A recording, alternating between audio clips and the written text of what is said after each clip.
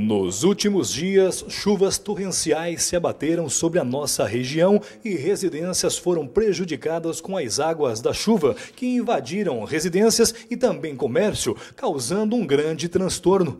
Em Maringá, alguns lugares foram afetados com essa situação e em Sarandi não foi diferente. Residências em alguns jardins da cidade foram invadidas pelas águas e no Jardim Universal, porém, o estrago foi maior.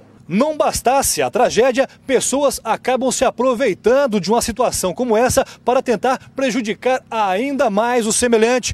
O indivíduo foi trazido aqui para a delegacia, foi ouvido e liberado, mas vai ter que responder um processo. Essa situação, eh, se ele havia a, a intenção de furtar, ainda não tinha furtado, o que caracteriza, no mínimo, a violação de domicílio e por isso foi lavrado o termo circunstanciado e ele vai responder por essa infração em liberdade. Entende-se que ele talvez não soubesse que realmente eh, morasse alguém ali, pode ser isso também, porque a casa estava sem ninguém, mas a informação de que águas haviam entrado na residência e as pessoas eh, saíram por esse motivo, né? Exatamente. E a casa, no momento, não era habitada porque as pessoas deixaram por conta de uma inundação recente. Que ser feito, liberado, agora ele responde eh, um processo com certeza, mas eh, não preso, né?